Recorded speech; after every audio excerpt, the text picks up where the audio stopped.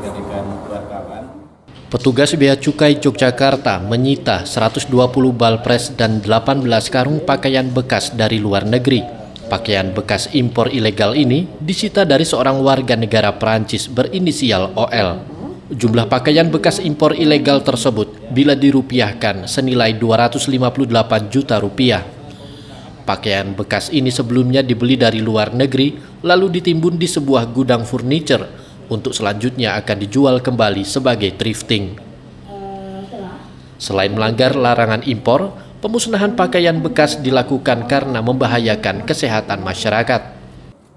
Ini eh, merupakan eh, proses pemusnahan dari barang-barang hasil penegahan, hasil penindakan kolaborasi antara Ditkrimsus DIY dengan Disperindak DIY eh, dan juga Bea Cukai Yogyakarta.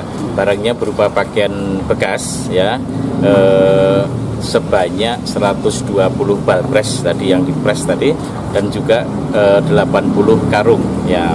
Kenapa ini eh, kami lakukan penindakan? Karena proses impornya itu memang eh, tidak sesuai dengan ketentuan dan sesuai ketentuan dari Kementerian Perdagangan bahwa barang-barang balpres ini pakaian bekas ini kan memang membahayakan bagi uh, kesehatan masyarakat itu. Setelah berkekuatan hukum tetap, pakaian-pakaian bekas impor ilegal ini nantinya akan dibakar di Semarang, Jawa Tengah. Fauzan Ahmad, Jogja TV.